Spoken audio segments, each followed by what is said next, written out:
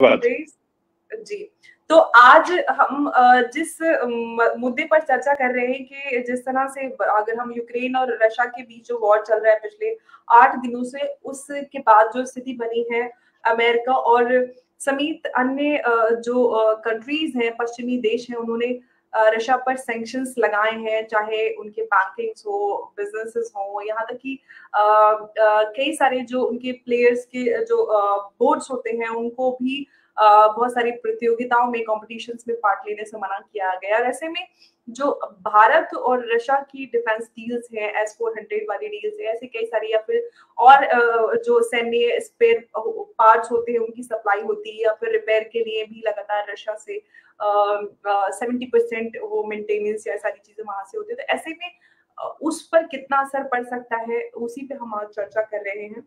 तो हम उसी आगे भी आपसे चर्चा करना चाहते हैं क्योंकि हमारे साथ कुछ दर्शक भी बीच में जुड़ते रहते हैं, जिनके सवाल हम लेते रहते हैं। तो आपका इस पे क्या कहना है, डॉक्टर गुलेश देखिए जहाँ तक विषय है रशियन सप्लाईज की, डेफिनेटली भारत को उसकी आवश्यकता है और अभी भी हमारा 60 percent military hardware, it comes from Russia.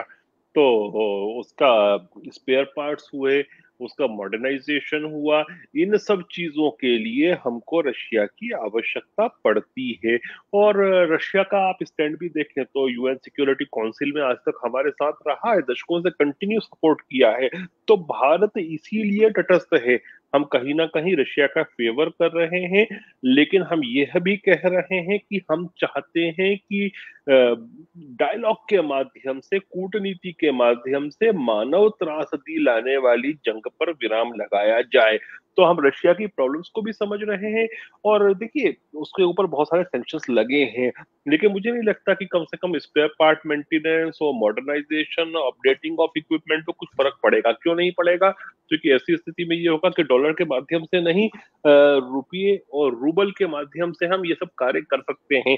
लेकिन हाँ मुझे इस बात की आशंका ज़रूर है कि नई बाइंग बड़े शस्त्रों की, उसमें समस्या हो सकती है इंक्लूडिंग हो सकता है कि एस फोर हंड्रेड की जो आने वाली और बटालियन है जो आ चुकी है तो आ चुकी है, कोई विषय नहीं है उसका लेकिन उसमें भी इतना आसान नहीं रहे उसको लाना, क्योंकि वेस्ट की तरफ़ से भी बहुत सारे जो है प्रेशर आएगा और प्रेशर आप ये कह सकते हो कि आप प्रेशर ले क्यों रहे हो? देखिए, हमको ये भी नहीं बोलना है कि हमको वेस्ट के साथ और particularly United States of America के साथ रहना है। मैं बार बार एक बात कहता हूँ कि अंतरराष्ट्रीय कूटनीति में कोई भी हमारा दुश्मन नहीं है, कोई भी हमारा दोस्त नहीं है। हमको अपने हितों की सिद्धि करनी है।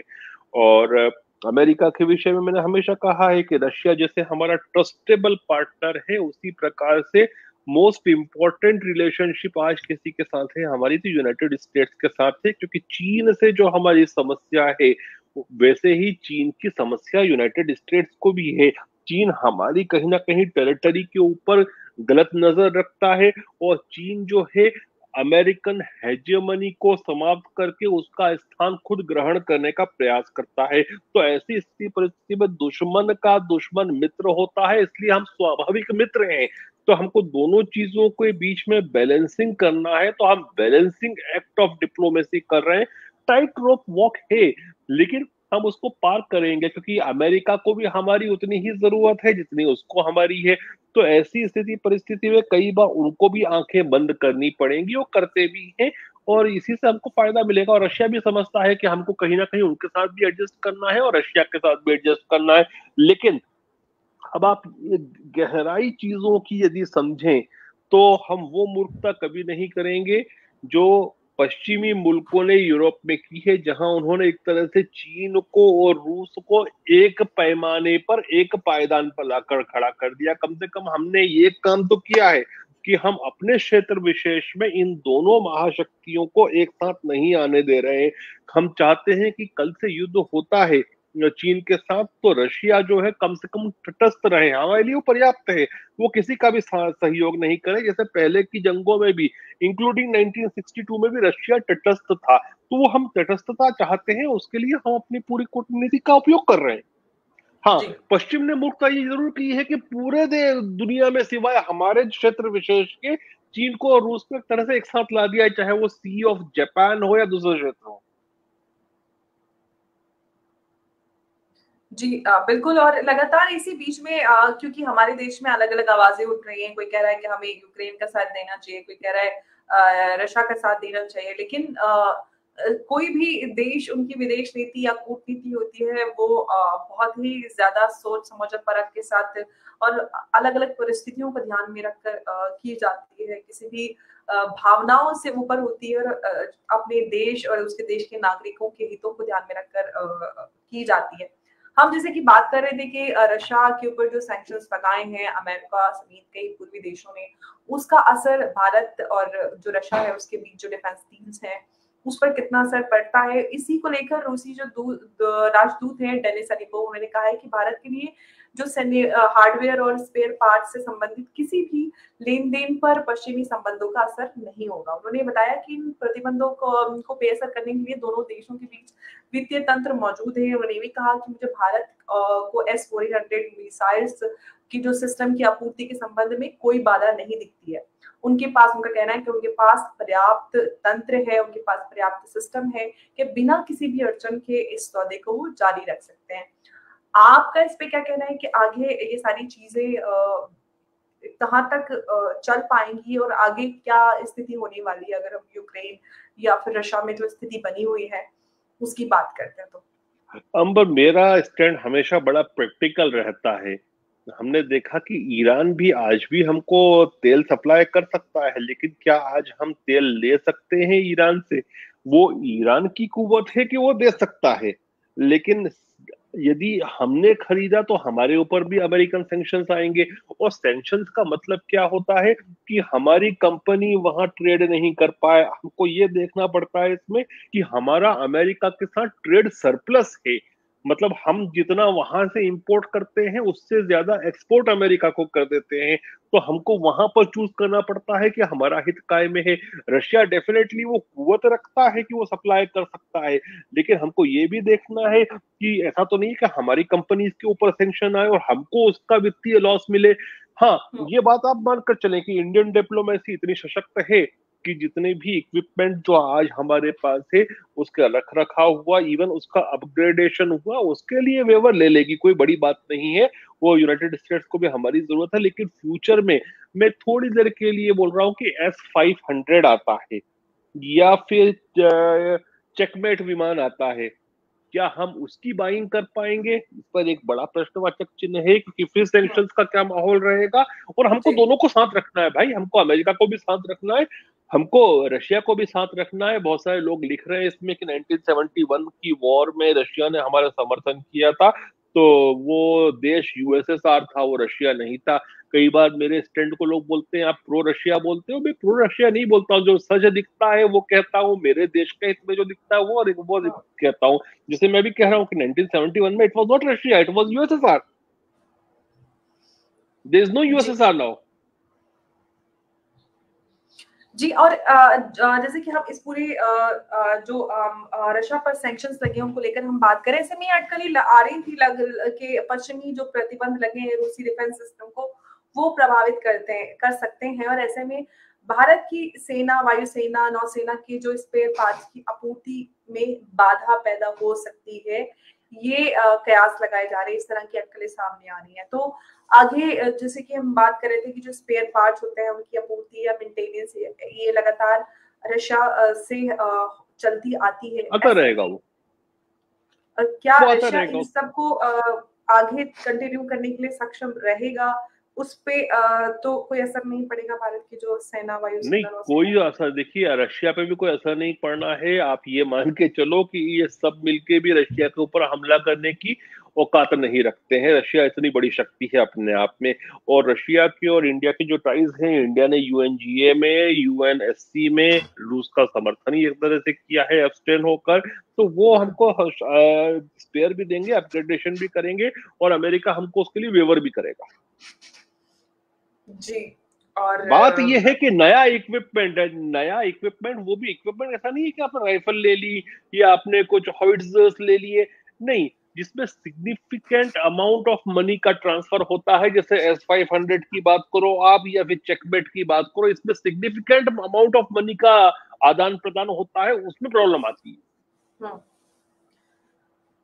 जी, तो आ, क्या ये कह सकते हैं कि इन सारी चीज़ों का रशियन जो इकोनॉमी है उस पर असर पड़ता है? क्योंकि हमने देखा था कि हम जब राजदूत की बात कर रहे हैं यानी पोप की उन्होंने प्रतिबंधों के खिलाफ काफ़ी आक्रामक रूप दिखाते हुए कहा कि रशिया जो है वो राख से उठाए फिर और वो वापस फिर से उठेगा। मुझे आ, कोई संदेह नहीं है कि हमने खुद को पूरी तरह से अ, सुरक्षित करने के लिए कदम उठाए हैं और इस तरह की और अर्थव्यवस्था को लेकर भी उन्होंने कहा है कि हमारी अर्थव्यवस्था काफ़ी स्थिर है और जो अभी स्थिति है और भविष्य में भी हम इन सारी चीज़ों को हालातों को बेहतर बनाने के लिए हम सक्षम हैं। तो ऐसे में आपको लगता है कि इन सारी जो अभी स्थिति बनी हुई है, उसका रूस पर कितना असर पड़ेगा?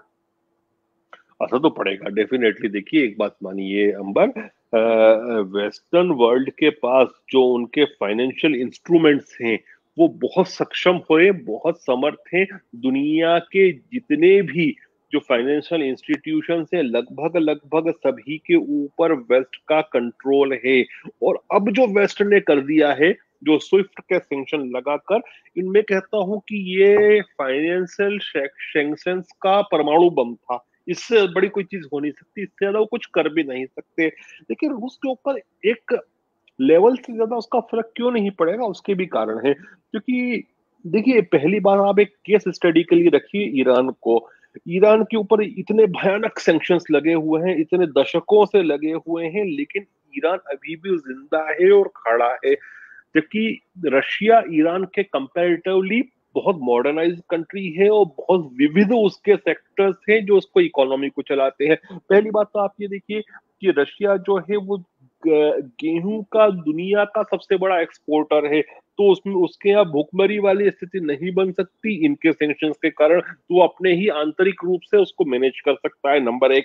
नंबर दो, रशिया टेक्नोलॉजी के मामले में भी काफ़ी विकसित है ऑटोमोबाइल जैसे ईरान को बाहर से लेना पड़ता है, बाद में अब उन्होंने भी अपने कुछ कुछ डेवलप किए हैं, लेकिन रशिया के पास ऑलरेडी ऑटोमोबाइल इंडस्ट्री है, रशिया जो है अपने अस्त्र शस्त्र के खरीदारी के लिए वो बाहर पर निर्भर नहीं है वो उस चीज़ में खुद सेल्फ बना लेता है तो वो सेक्टर भी उसके पास है। गैस और पेट्रोलियम सबसे बड़ी समस्या जो आती है जब सेंक्शन लगते हैं कि आप विदेशी मुद्रा में कैसे खरीदेंगे वो खुद दुनिया का दूसरा नंबर का सबसे बड़ा मैन्युफैक्चरिंग हब है उसका तो वो भी उसके पास है। उसके पास यूनिवर्सिटीज भी हैं तो बहुत हद तक अपने आप को सेंक्शन प्रूफ रख सकता है। दूसरी बात उसके पास विदेशी मुद्रा का भंडार लगभग सवा छह सौ अरब यूएस डॉलर का इतना है और उसमें भी बहुत बड़ा पोर्शन है उसने उसको गोल्ड में कन्वर्ट कर रखा है ताकि यूएस के जो डॉलर के सेंक्शन से उसका इतना प्रभाव नहीं पड़े। तीसरा जो सबसे महत्वपूर्ण है और मेरे को अच्छा अपने लिए नहीं मानता हाँ। शी जिनपिंग से व्लादिमीर पुतिन की कुछ दिनों पहले बीजिंग में बीजिंग विंटर ओलंपिक की जब शुरुआत थी तब इनकी मुलाकात हुई थी। और इन्होंने फिर जो एनर्जी सप्लाई का बहुत बड़ा कॉन्ट्रैक्ट उनके साथ साइन किया था।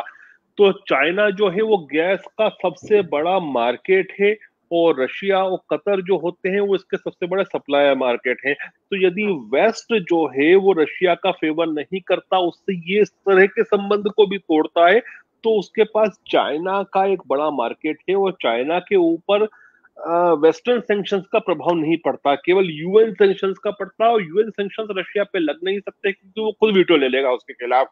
तो आप उस समीकरण को समझिए, एक लेवल से ज़्यादा रशिया के ऊपर आर्थिक सेंक्शन काम नहीं करेंगे, लेकिन अब ये हमारे लिए क्यों खराब है? और मैं बोलता हूँ, पूरे स्वतंत्र जो वैश्विक बिरादरी है, उसके लिए क्यों खराब है?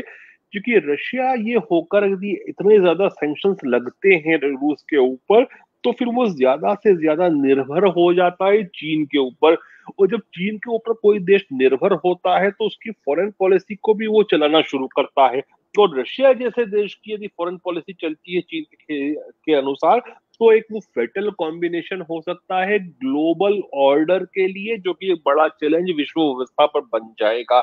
मैंने कल जेड तरार के साथ भी मेरा संवाद चल रहा था, जो यूनाइटेड स्टेट्स ऑफ़ अमेरिका के ऑफिशियल स्पोक्स पर्सन है, विदेश मंत्रालय के। तो जेड का कहना भी, मैंने उसको ये बात कही, लेकिन वो भी स्पष्ट जवाब नहीं दे पा रहे थे, लेकिन उन्होंने ये ज़रूर कहा, उसकी बात में भी गलती नहीं थी। बात को मानता हूँ मैं कि हमारे पास तरीका क्या बचता है ऑप्शन क्या बचता है, यदि रशिया ने अटैक ही कर दिया है तो हम उसके खिलाफ अपनी फोर्सेस को भेज नहीं सकते। तो हमारे पास विकल्प ही फाइनेंशियल बनता है, लेकिन उस फाइनेंशियल विकल्प जो है, वो मैं कहता हूँ दो धारी तलवार है। वो एक तलवार जो है रशिया पे चल रही है, और जब वो चल रही है तो रशिया मदद के लिए जाता है चीन के पास, और चीन जो है, फिर वो रशिया की टेक्नोलॉजी लेकर वो दूसरों पर वार करेगा। तो ये जो है बूमरैंग भी होता है। जी। बिल्कुल हमारे साथ कई दर्शक जुड़े हुए हैं। हम मेरे साथ अविनाश कुमार जी मन को जोड़ रही हूँ। नमस्कार अविनाश जी स्वागत है आपका। क्या कहना चाहते हैं आप? नमस्कार नमस्कार मैम। मैम ये जानना चाहता हूँ कि जो रूस यूक्रेन में जो चल रहा है तो इस युद्ध में अमेरिका और भारत के संबंध पे क्या असर पड़ेगा? फॉलो किस करने से होगा। जी डॉक्टर साहब आप जवाब दीजिए। देखिए, संबंध पर फ़र्क तो पड़ता है। डेफिनेटली अमेरिका चाह रहा था कि हम रूस के खिलाफ वोटिंग करें। हमने पक्ष में भी नहीं करी, हमने विपक्ष में भी नहीं करी, हम एब्सटेन हो गए। मतलब हमने, हम बैठक में मौजूद थे, लेकिन हमने वोटिंग करना प्रेफर नहीं समझा। या आप ये कह रहे हमने नोटा का बटन दबा दिया, सामान्य भाषा में बोलो तो हमने नोटा का बटन दबा दिया।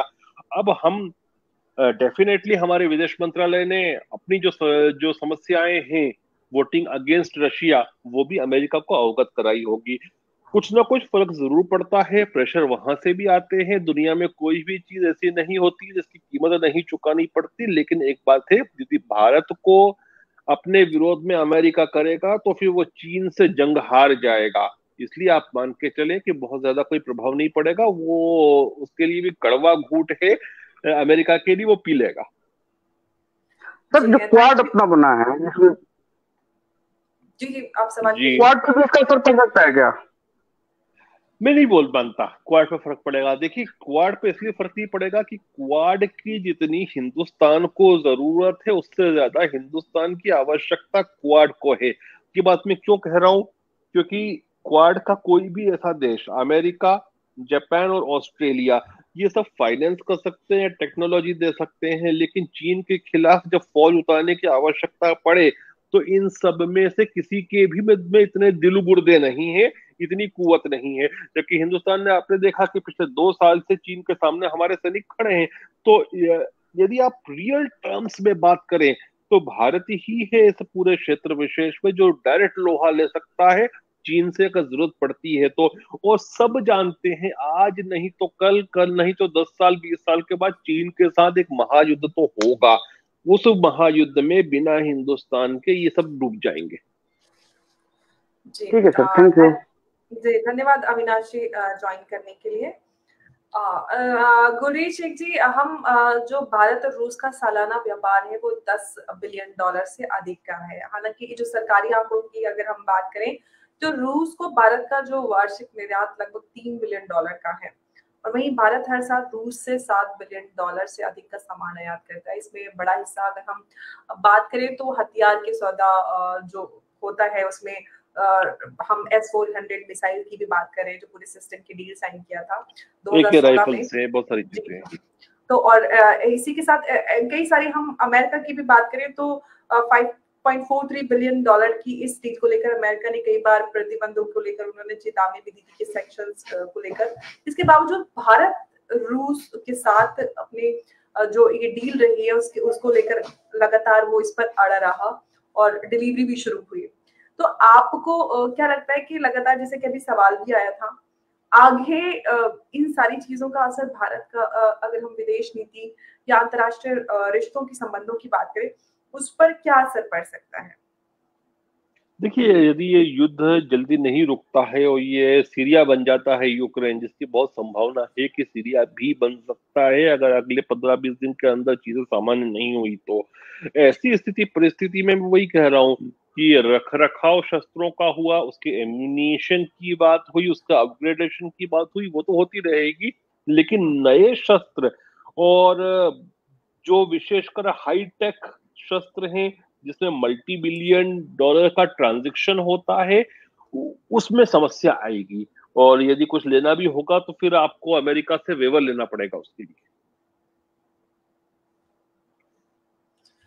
जी तो अभी हमारे साथ कई दर्शक हैं, हम साथ में उनका उनका सवाल ले लेते हैं, क्योंकि आप काफ़ी देर से जुड़े। जी, सौरभ जी, आप अगर कुछ कोई सवाल या फिर बात कहना चाहते हैं, डॉक्टर गुरदेश जी से। हाँ मैं अपनी बात रखना चाहूँगा कि जैसे मैं थोड़ा ही देर पहले भी बोल चुका था कि हकीकत में क्या है कि लोग रसिया को कमज़ोर करने के चक्कर में, हकीकत में इनडायरेक्टली और डायरेक्टली चीन को मज़बूत कर रहे हैं। एक चीज़ ये हो जाती है। दूसरी चीज़ के जो सैंक्शन की बात होती है कि इनडायरेक्टली अपने भारतीय कंपनियों के ऊपर भी इसका असर पड़ेगा। जो कंपनियाँ वहाँ पे बिज़नेस कर रही है और जो इनडायरेक्टली ऐसा होगा कि कोई कंपनी का इन लोगों के नज़र में आ जाएगा कि उनके ऊपर बाद में सेंक्शन लगा सकते हैं। ये भारत की पर्सनल कंपनियों के ऊपर ये लोग कर सकते हैं। भारत सरकार के ऊपर डायरेक्ट करें या ना करें वो बहुत दूर की बात हो जाती है। दूसरी चीज़ एक सवाल ऐसा पूछना चाहता हूँ गुजर जी से कि क्या आपको ऐसा लगता है कि अमेरिका को बाद में जाके ऐसा एहसास होगा कि रसिया के ऊपर प्रतिबंध लगा के ये चाइना को इनडायरेक्टली हेल्प करती है। ऐसा कुछ उनको अंदेशा होगा? डेफिनेटली होगा और कल तो मैंने ये बात तो उनके जो राष्ट्रीय प्रवक्ता है विदेश मंत्रालय के उनको भी मैंने यही कहा कि आप जितना सेंक्शन लगा रहे हो इतना ज़्यादा आप चीन को रूस के नज़दीक ला रहे हो चीन को प्रबलता दे रहे हो। तो ये बात तो मैंने खुद ने कही और इससे चीन पावरफुल भी हो रहा देखिए चीन जो है बहुत सारी चीज़ों में अभी भी पिछड़ा है जैसे जेट इंजन जेट इंजन वो आज भी रशिया से चाहता है। और हो सकता है कि उसमें और भी हाईटेक जो इंजन हैं अब वो उसको मिलने का मार्ग प्रशस्त हो सकता है। हम्म। तो जितना आप और अगर सेंक्शन लग जाते हैं उसके पास देखिए रशिया कोई बहुत बड़ी इकोनॉमी नहीं है। इकोनॉमी हम्म। के तौर पर वो छोटी इकोनॉमी है। इतने का समर्थन इसका एक बहुत बड़ा पोर्शन है। चीन जो है वो अपने तौर पर गैस और पेट्रोल खरीद के उसकी पूर्ति कर सकता है। कि वहाँ पर हालात नहीं बिगड़े। तो ये भी नहीं भूलना चाहिए। हमने एक चीज़ देखी और मैंने ये बात विदेश मंत्रालय को भी कही। अमेरिका की आपने देखा कि आपने जो सेंक्शन ईरान पर लगाए उसकी वजह से 25 साल के लिए ईरान जो है, एक तरह से कॉलोनी बन गई चाइना की। उन्होंने 400 बिलियन यूएस डॉलर के इतने की वर्थ का इन्वेस्टमेंट उनसे ले लिया कि 25 साल तक इतना इन्वेस्ट करेगा। वो वो साथ में उसमें वो सिक्योरिटी और इंटेलिजेंस उस सब में भी करेगा। मतलब पूरी तरह से उसको पक्ष में लाके खड़ा कर दिया चीन के, जो कि पहले नहीं था। तो इसी प्रकार से अगर ये संभावना बनती है तो रशिया और चीन यदि पास आते हैं तो हमारे लिए बहुत अच्छा नहीं है। हमारा उस समय यही काम रहेगा कि हम ये प्रयास करें कि इनको इतना करीब नहीं आने दें कि जंग के समय में रशिया चीन का फेवर करे और तटस्थ रहे। ये हम्म। हमारी डिप्लोमेसी होनी चाहिए और उस पर हम काम भी कर रहे हैं। तो ऐसा माना जा सकता है कि वेस्टर्न वर्ल्ड अभी राजनीति में कच्चे खिलाड़ी हैं? प्रॉब्लम साहब बहुत सारी है। कच्चे खिलाड़ी नहीं है थोड़ा सा आप ये भी समझो। खिलाड़ी तो बड़े मज़बूत हैं ये भी और इनके भी बहुत सारे इंटरेस्ट होते हैं चीन में भी इनके इंटरेस्ट हैं। इनके आप जो बाइडन के बेटे हंटर बाइडन का बिज़नेस हम्म। था कि नहीं यूक्रेन में? क्यों हाँ, भूलते हो हाँ। ये चीज़? और चाइनीज़ कंपनीज़ जो यूएस में ऑपरेट करती हैं इसमें हाँ, कितने हाँ, सारे उनके सेनेटर्स और कांग्रेसमैन और कांग्रेस वीमेन उनके बोर्ड में या तो पहले रह चुके हैं या अभी हैं। तो हम्म। इसका भी मतलब वहाँ पर भी उनकी रुचि है लेकिन क्या है कि एक बहुत बड़ी लॉबी है साहब की हथियार बेचने वाली हम्म। विशेषकर वेस्ट में वो कुछ स्कैंडिनेविया में भी है कुछ फ्रांस में भी है कुछ जो है और अमेरिका में तो बहुत बड़ी लॉबी है वो और इनसे चीन हथियार नहीं खरीदता है हम्म। तो इनको हथियार बेचना है तो वो नेटो के देशों को बेचना है अब 1991 में सोवियत संघ का जब पतन हुआ तो फिर वॉर्सो पैक्ट भी खत्म हो गया।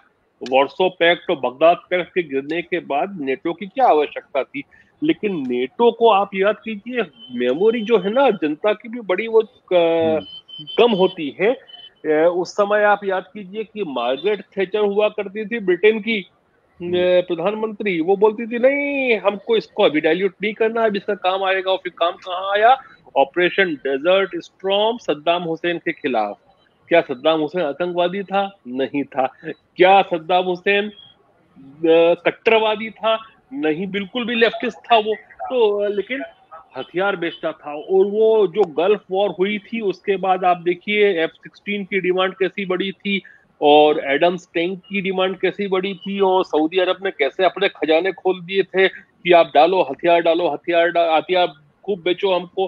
फिर वो जब खत्म हुआ तो आपने ये देखा कि ईस्ट वर्ड चाहे फिर वो पोलैंड हो, चाहे रोमेनिया हो, चाहे स्लोवेनिया हो, फिर चाहे वो बाल्टिक के तीनों मुल्क हो उनको नेटो का अंदर लाया गया उनको दिखाया गया कि ये ईस्ट से रशिया जो है ना वो खा जाएगा तुमको छोटे छोटे कंट्रीज़ को जो तुम बाल्टिक के छोटे छोटे देश हो तुम तुम नए नए इंडिपेंडेंट हुए हो थोड़े दिन में तुम पे हमला होगा तुम यूरोपियन यूनियन ज्वाइन करो तुम नेटो ज्वाइन करो NATO means guarantee for you फिर उन्होंने हम्म। अपने खजाने खोले खूब हथियार खरीदा उन्होंने पोलैंड ने हथियार खरीदा रोमेनिया ने खरीदा बिज़नेस पे ये पैसा चल रहा है हाँ।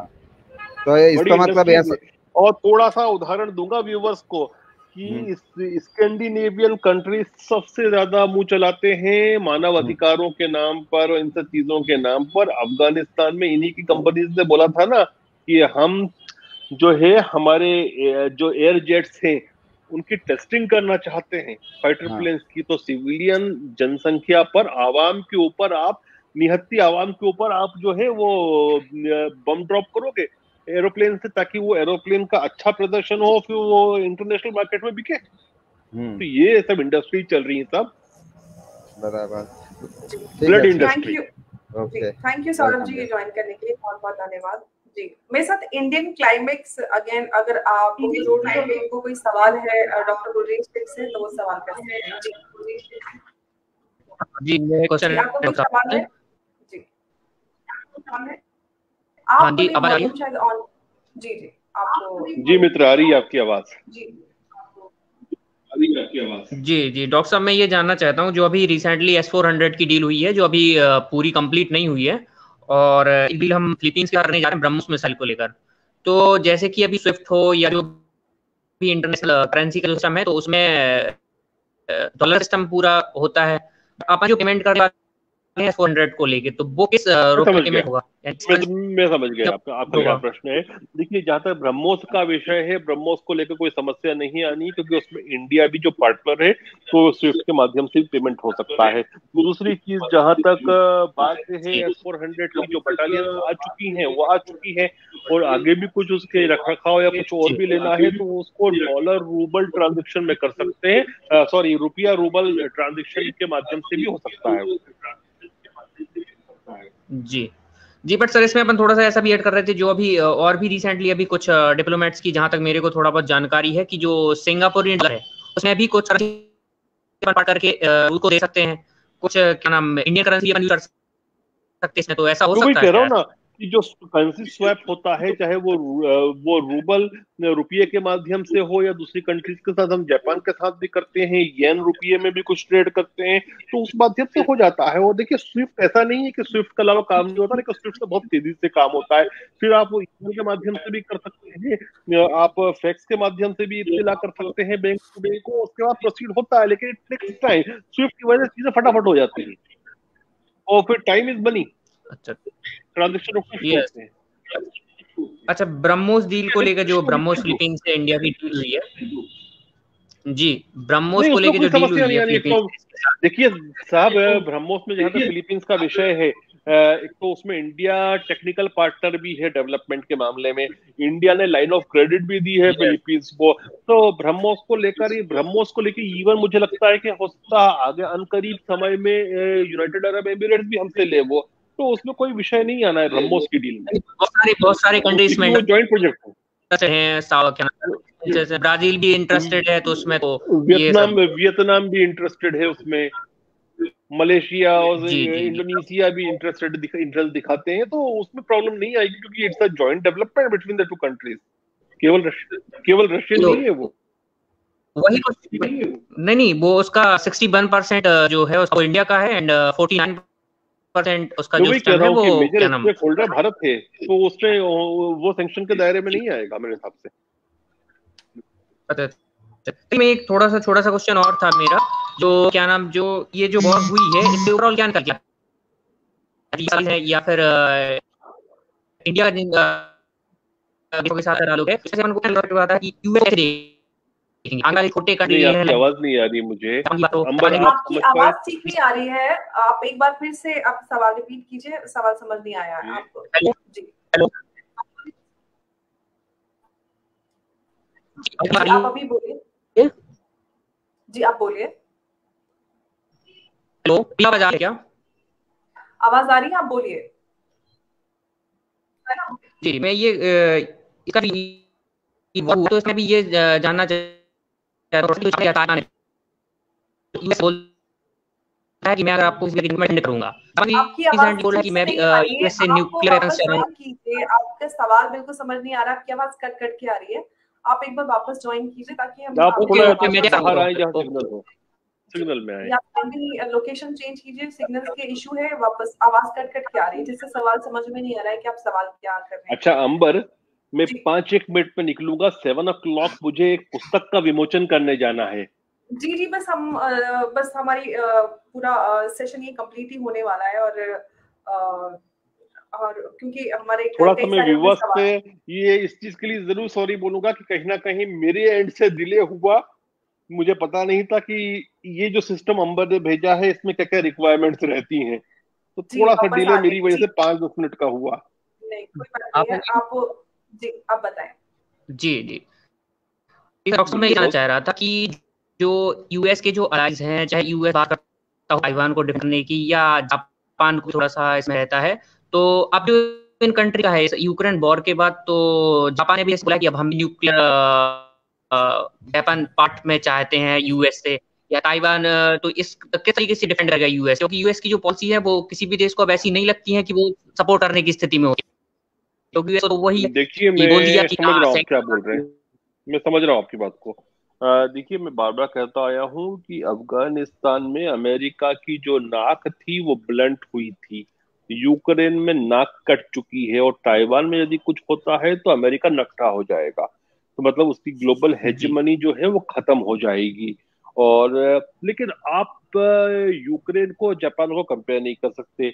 जापान हुआ या ऑस्ट्रेलिया हुआ या न्यूजीलैंड हुआ या फिलीपींस हुआ ये जो देश है ना ये अमेरिका के साथ ट्रीटी बाउंड अलाय हैं जबकि इसके विपरीत ताइवान ट्रीटी बाउंड अलाय नहीं है। तो ठीक है ये बात सही है शिंजो आबे साहब ने कहा कि उनको न्यूक्लियर अम्ब्रेला चाहिए जैसे नेटो को मिलता है अमेरिका का जिसके तहत ये होता है कि वो अपने न्यूक्लियर वेपन्स उन देशों में रखते हैं जैसे टर्की के अंदर इंस्टॉल कर रखे हैं अन्य देशों में जर्मनी में कर रखे हैं।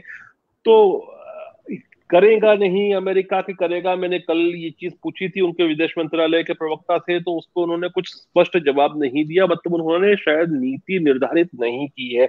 लेकिन वट एवर इज़ रिस्पेक्टिव यदि जापान पे हमला होता है तो फिर तो अमेरिका बीच में आएगा। यदि फिलीपींस पे हमला होता है तो डेफिनेटली यूनाइटेड स्टेट बीच में आएगा लेकिन ताइवान पे होता है तो इट्स नॉट ट्रीटी बाउंड जी जी। चलिए सर धन्यवाद। के लिए जवाब मिल गए हैं। थैंक यू सो मच जी मैम धन्यवाद। जी। बहुत बहुत धन्यवाद। सबको जय हिंद। जी। तो